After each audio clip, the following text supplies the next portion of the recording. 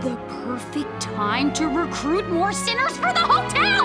Cute idea and all. After the pilot for Hazbin Hotel premiered on VivziePop's YouTube channel, fans of the upcoming series needed something to tide them over as they eagerly awaited the first season. The spin-off series Helluva Boss would be their saving grace, as it currently has two seasons of content on VivziePop's channel and expands on the society in Hell. Unlike its parent series, Helluva Boss follows a group of hellborn demons who work as assassins in the lower rings of Hell, with their targets including their fellow demons and humans on Earth. The main characters, Blitz, Moxxie, and Millie, operate their business, IMP, and go on numerous adventures. Now that Hazbin Hotel has finally aired, there's no reason the two series can't share a crossover in future episodes. In today's video, we're considering five characters from Helluva Boss who could reasonably appear in Hazbin Hotel. You three monsters have messed with us enough! Uh, We're just trying to do our job. Number 1.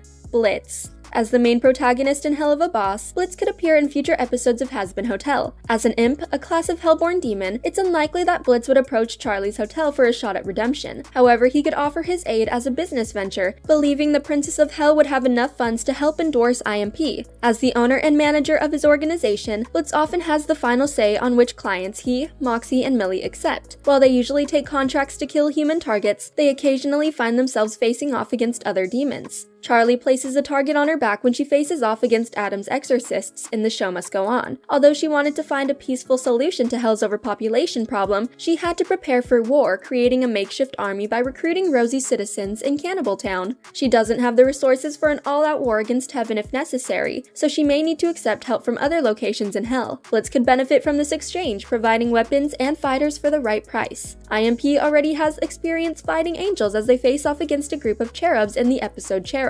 With very loose morals and willingness to kill anyone who gets in their way, the employees of IMP could be the elite fighting force Charlie has needed since the beginning. While the Princess of Hell isn't quick to endorse violence, accepting Blitz's help could be a necessary evil to keep her friends safe. She could also help him work through some of his childhood trauma as she has a knack for bringing out the best in people, even when knowing them briefly. D. Of course, of course.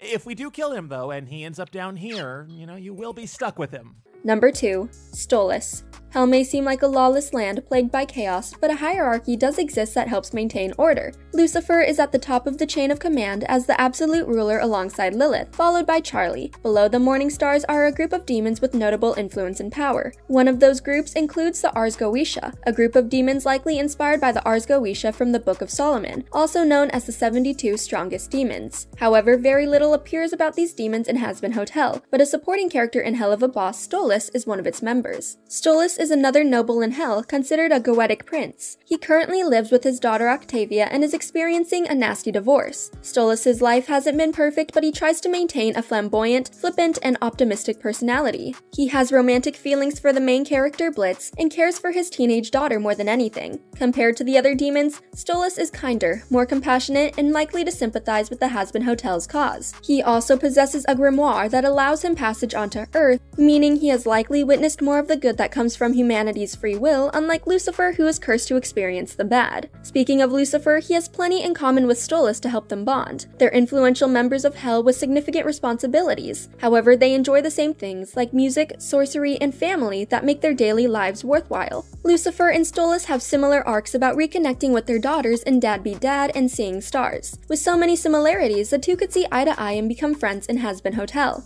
But what would possess you to do such a thing? You know I haven't taught you spells like this yet. Number 3. Fizzarolli. Like Angel Dust, a well-known celebrity in the Pride Ring because of his connections to Valentino, the clown Fizzarolli amassed a significant following throughout Hell, working for several influential demons including Mammon, his former boss, and the Sin of Greed. Fizzarolli's fame resulted in him partaking in the annual Mammon's Clown pageant, as seen in Mammon's magnificent musical mid-season special. Fizzarolli's popularity and likeness resulted in robotic versions of himself mass-produced for various purposes. The first appearance of these robots occurred in Helluva Boss's Lululand episode, with the main antagonist being a performer robot at the theme park. However, these robots appear early in Hazbin Hotel, with Valentino owning one he calls Kitty and Radio killed the video star. Fortunately, Fizzarolli ended his working relationship with Mammon in the latest episode of Helluva Boss, meaning he's free to travel wherever he likes and do whatever he wants with his career. Fizzarolli genuinely enjoys performing, having grown up in the circus with a natural talent for entertaining an audience. Unlike most other Hellborn demons, he doesn't have a penchant for violence and would would rather spend time uplifting his audiences. With Fizzarolli embracing his true self away from Mammon, it would be the perfect time to travel to Pentagram City, where he can meet other hopeful souls with an all is welcome mentality and a love of musicals. It's just how he is. I mean,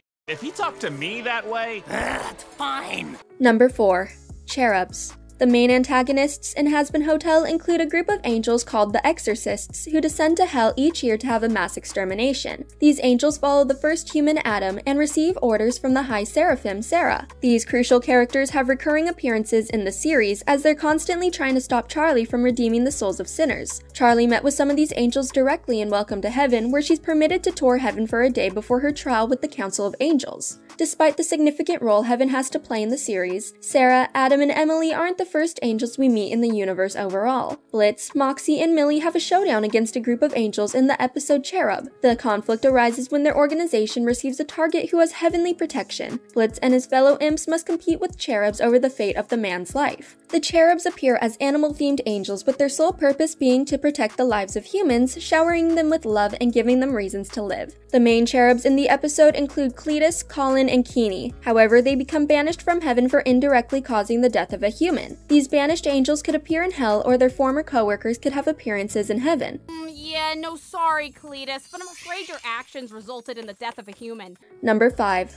The Seven Deadly Sins. Regarding the hierarchy of hell, the group of demons who fall directly under Lucifer in power are called the Seven Deadly Sins. The group's leader is Lucifer, who embodies the sin of pride. His fellow sins share a name with the rings of hell, with business ventures and control in each of them. So far, Lucifer is the only sin to appear in Hazbin Hotel. Since Helluva Boss takes place throughout numerous locations in Hell, other sins have appeared throughout the series, including Beelzebub, voiced by Kesha, Mammon, and Asmodeus. Some of the seven deadly sins are more agreeable, showing kindness and sympathy to their fellow demons, while others are crueler and quick to lose support from those around them. Since Lucifer is meant to lead them all, it would be interesting to see how he interacts with them as a team and individually, especially considering the character growth he received throughout Hazbin Hotel's first season.